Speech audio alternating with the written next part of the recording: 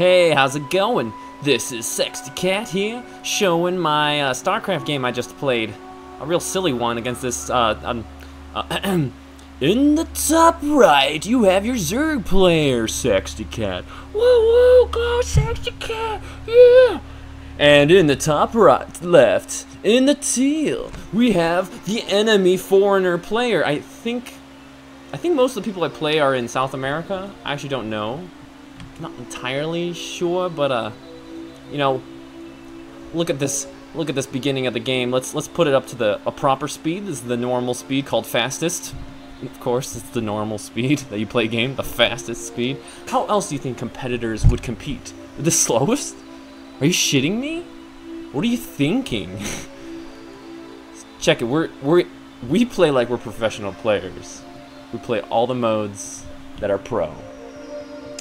As you can see, I am, uh, I apparently am sending my Overlord in the incorrect direction of the opposing player, but that's okay. I kind of just default going south when I'm in this location, I don't know why. Um, this is the map Circuit Breakers, and uh, it's my favorite map, so I always play it. Because maybe, maybe, I'll have an advantage somehow, because I like it. Perhaps. As you see, I'm also sending in my drone well, we'll see which direction. Is it south? Yes. Again, I'm sending in the wrong direction. He's not even...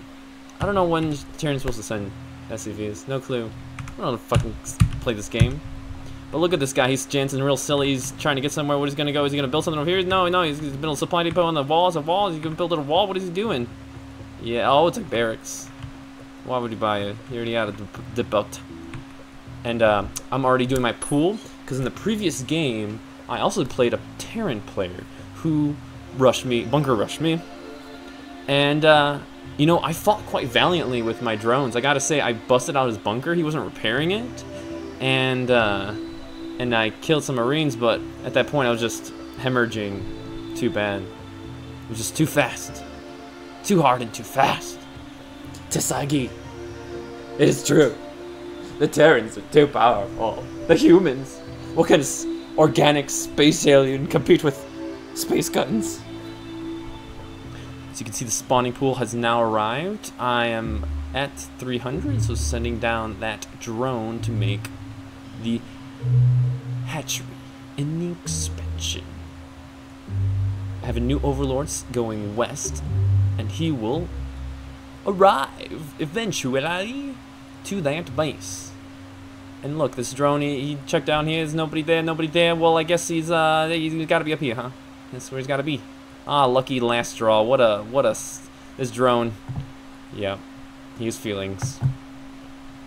All right. Yes, I, I, you know, I remember this moment as I noticed this drone. Your units are under attack. Oh my god, what's happening? Oh.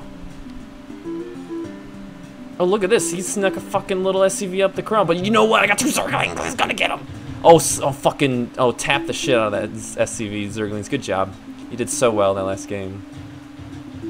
Yeah, I didn't pay attention over there. You can only pay attention in one place. Oh, look, he walled up. Oh, what a great wall with the SCV and everything. You're so silly. Oh, he's got a bunker. Oh, you gonna hide in the bunker? See, if I knew he was being defensive, I was trying to pretend to be aggressive. To fake aggressive and then play a little more economy um, and defensive. I'm also really determined on this like no third base or late third base idea, and I'm convinced to try to at least just play with it a bit and try to see if I can pull it off because it's the it's the whole legend that Zerg has to have three bases against Terran, otherwise they just can't compete. So uh, Looks like Sexy Cat is sending out his Overlord over into the enemy Terran base. Um, he is doing this to just observe because now he cannot get in through the front. He's got to come in through the air with the slow cow Overlord. Oh, look!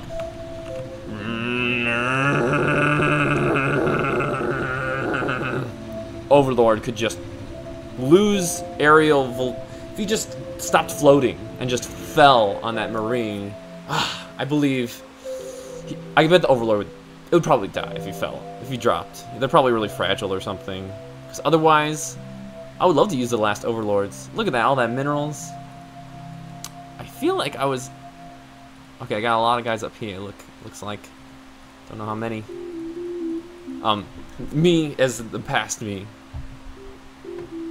So look at that, uh, sunken colonies. He's, he's he did not even. Okay, so this is why it's really good to look at your games. Even after I observed, I still didn't observe anything useful. And right after my overlord died, looks at that. He's he pounds out two factories. And what's that? An academy in the corner.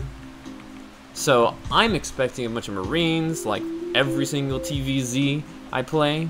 So of course I got these sunken colonies. And I'm macroing, focusing on macro, going to a lair. I was thinking I was probably do some lurkers, you know. Um, or I think I was doing, I'm trying to combine mutalisks with zerglings in a like a earlyish midish game against like I want to I want to see if I can head on their Terran force address them head on that is. Look at these zerglings. They're protecting this exit. They got this exit. I know if anything comes in or out and look they got a machine shop and uh, an armory and another factory so three factories he pulled on me that little fucking asshole little piece of poo what, a little wall with a supply depot Engineering bay in the front? I literally could attacked him. Okay, I would have... Yeah, always got four in there, four guys. But you know what? If I attacked him, if I didn't make these sunken colonies, although I think I was pretty much hatching Zerglings this whole time, especially like right now.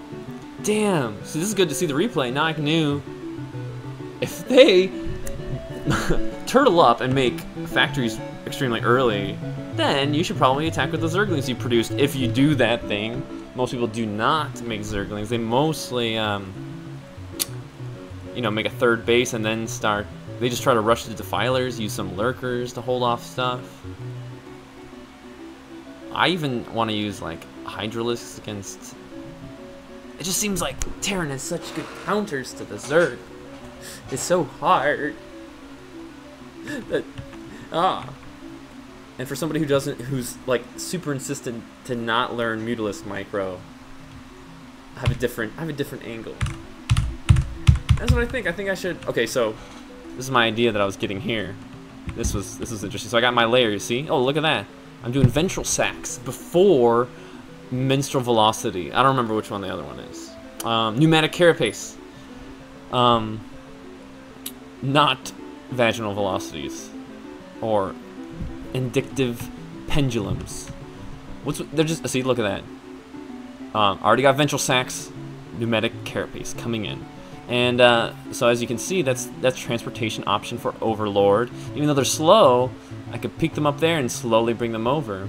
And I got all these Zerglings, so me thinking, me first observing that they're kind of they have a wall off in the front, of course.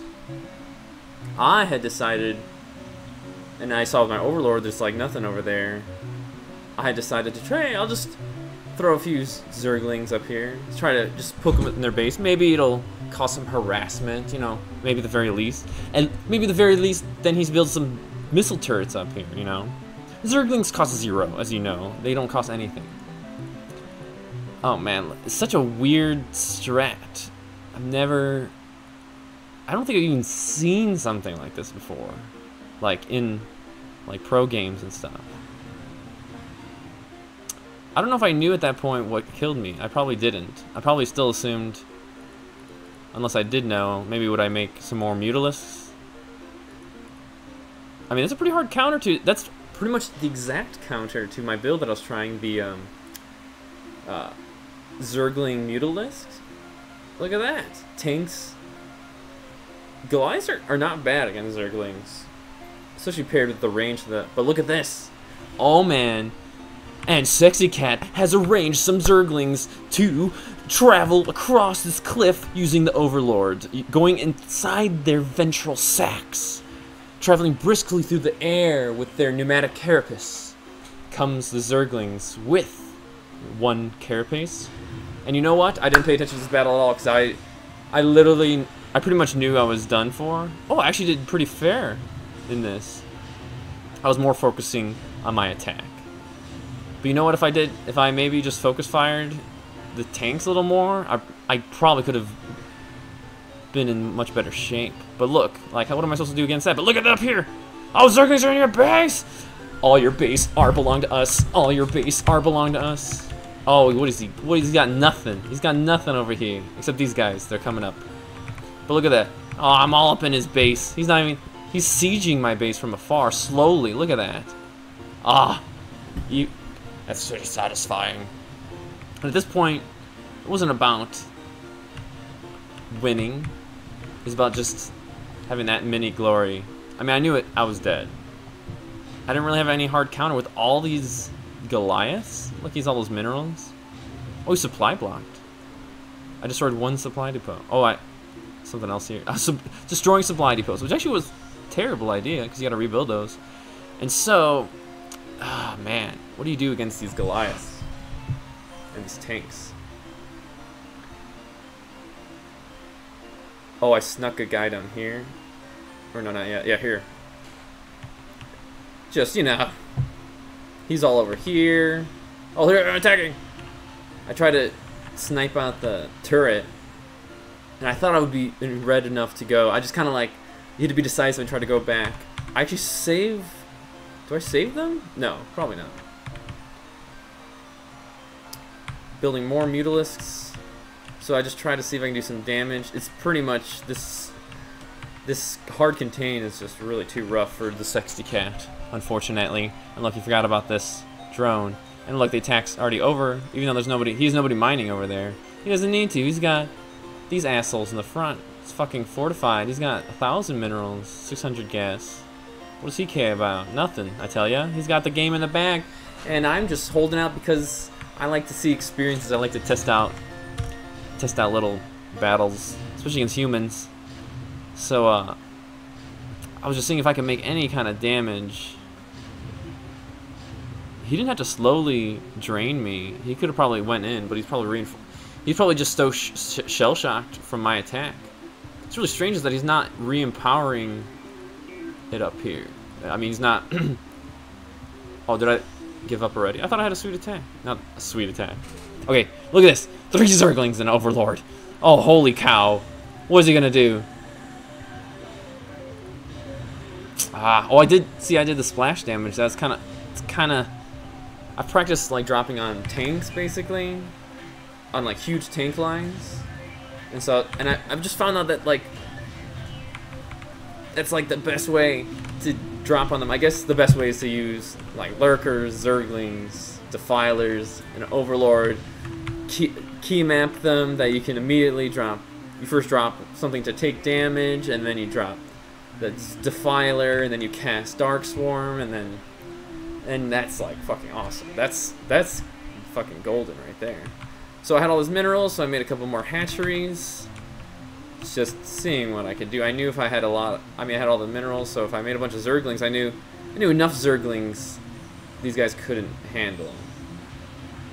Man, they really so many of the Goliaths though, they all do instant damage to Zerglings, and they all do 12 damage. Shit. Well, that's a Sexy Cat episode for you. It's, uh, hope you enjoyed, and hope you come around next time, I tell ya. And if you don't come around next time, then I hope you have a good